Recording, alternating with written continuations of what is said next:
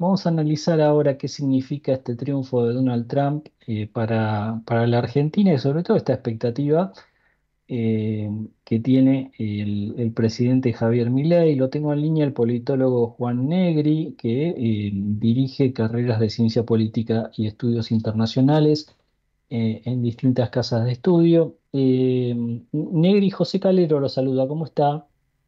¿Qué tal, José? Buenas noches, ¿cómo anda? Bien, muy bien, gracias por atendernos. Eh, ¿le parece que es, para tanto, para tanta expectativa el triunfo de Trump? eh, ¿puede favorecer a la Argentina?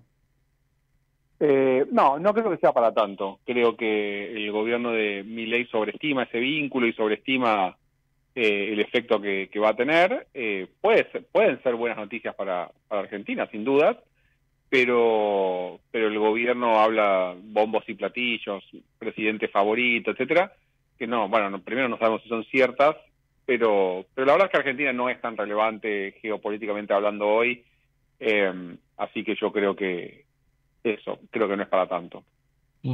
Todo indica que Trump, eh, incluso por los funcionarios que ya está nombrando, eh, en especial uno que va a manejar el comercio internacional, eh, todo indica que Trump va a tener una política eh, arancelaria bastante dura, sobre todo con China, donde parece, prevé aplicar aranceles altos al ingreso de productos chinos a Estados Unidos, eh, y un- una política más proteccionista en general.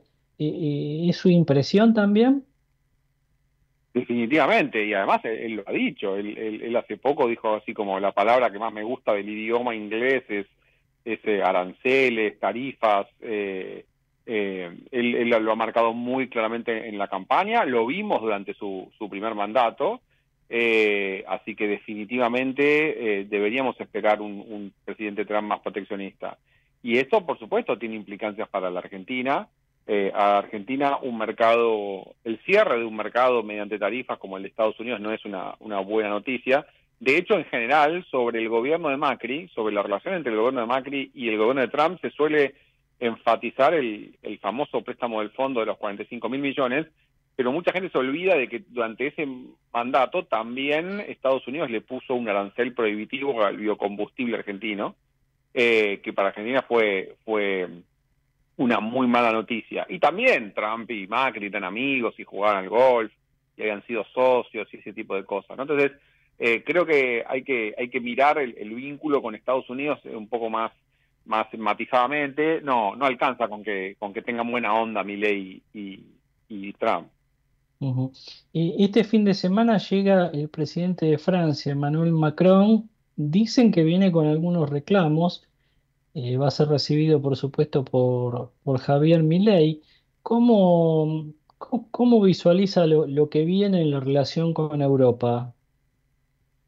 Bueno, eh, en principio Europa eh, eh, es uno de los de las regiones del mundo a la que el gobierno de Milei eh, presta atención, ¿no? Es decir, eh, comparado con el gobierno peronista, el gobierno de Milei busca socios y aliados en las regiones tradicionales. Estados Unidos, obviamente, es prioridad, pero pero también pero también Europa. Eh, y, y así que yo digo, eh, no, no, no es tan visible, me parece que es un vínculo que no es tan visible el que va a tener con Estados Unidos, eh, pero pero en general con Europa yo creo que yo creo que eh, va a haber un eh, buen vínculo. Milei le gustaría avanzar en el acuerdo Unión Europea-Mercosur, por ejemplo, que bueno, tiene varios obstáculos, pero a Milei le encanta, le, le gusta, digo, lo ha manifestado varias veces, avanzaría en esa dirección, ¿no? Eh, hoy Milei también dijo que eh, está interesado en, ir hacia un acuerdo de libre comercio con los Estados Unidos. Eh, eh, ¿eso qué probabilidades podría tener teniendo en cuenta justamente el Mercosur?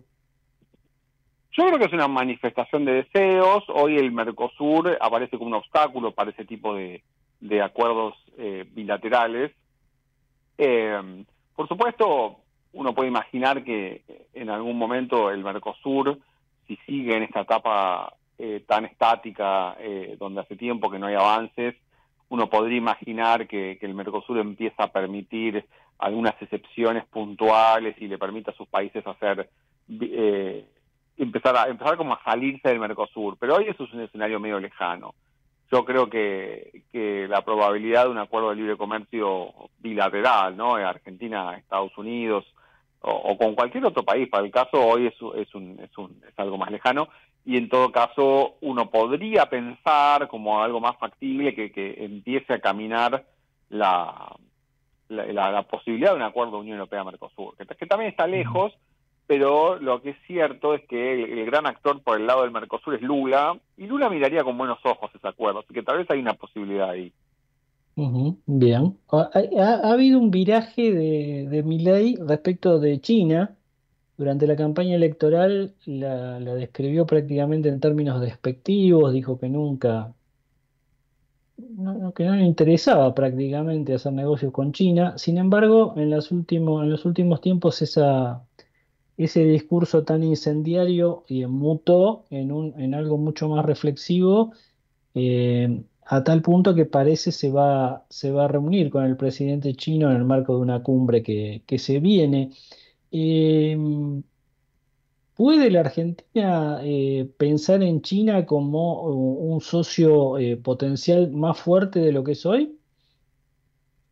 puede pensarlo definitivamente y este vínculo tiene mucho para crecer. Yo creo que en parte porque China es una potencia exportadora mundial eh, y siempre puede, puede aumentar el volumen exportable eh, y a la vez, si sabemos aprovecharlo, digo, creo que Argentina también puede aprovechar un poco los mercados chinos. Definitivamente es un mercado que puede crecer. Eh, y, es cierto, como, como señalás, que, que ha virado hacia el pragmatismo eh, en relación a, China, que también, también debe tener que ver con algunas cuestiones estructurales. Es posible que se haya dado cuenta la cuestión del swap, por ejemplo, todas las cosas que hoy eh, China mantiene con la Argentina. Eh, habrá que ver si es compatible con, la agenda más pro-occidental y sobre todo más pro Estados Unidos que está llevando adelante mi ley, pero, pero si, si el gobierno de mi ley eh, insiste con una política más exportadora eh, y potenciando algunos mercados, sí, sin dudas el vínculo con China podría, podría crecer más de lo que ya está, porque además es un vínculo importante para nosotros, es decir, eh, no es un vínculo incipiente para nada, es decir, China es el primero o segundo socio comercial más importante de la Argentina. Y ya, es prácticamente un hecho que en los próximos años China se va a convertir en la primera economía mundial o eso está en duda todavía? Eh, Sí, o sea, no, no, yo no, no está en duda. E, e, estas cosas son, son, son lentas y paulatinas, es decir, eh, eh, los países no, no pasan de, de, la noche a la mañana ¿no? a, hacer las potencias hegemónicas. Eh, los, los grandes cambios geopolíticos de la estructura mundial, insisto, llevan, llevan su tiempo. Estados Unidos eh, tardó, no sé si ya era una potencia creciente a fines del siglo XIX, pero no es hasta hasta después de la Primera Guerra Mundial, donde empieza a, afirmar, e incluso de la Segunda, donde empieza a afirmar su, liderazgo mundial. Eh, antes estaba Gran Bretaña. Está claro que China está creciendo, está claro que hoy eh, las dos potencias mundiales son Estados Unidos y China. En algunos temas Estados Unidos sigue sacando muchísima ventaja. Por ejemplo, en gasto militar, Estados Unidos es, muchísimo mayor que de China, muchísimo mayor que de China. Eh, pero está claro que hoy China está sentada a una mesa, ¿no? Que hace 15 años o 20 años no estaba. Ahora, el momento de la unipolaridad, es decir, el momento en que China sea lo que fue en algún momento Inglaterra o lo que, o lo que es ahora Estados Unidos, bueno, para eso falta un poco más, me parece. Eh, falta un poco más, pero esas son transiciones que se hacen más lentamente. Juan, gracias como siempre, que le vaya muy bien. ¿eh? Gracias, igualmente. Ahí estaba el politólogo Juan Negri, eh, director de distintas carreras de ciencia política y estudios internacionales, bueno, analizando, ¿no? Eh, ¿qué puede ocurrir a partir de la llegada de Donald Trump a la presidencia de los Estados Unidos? Ya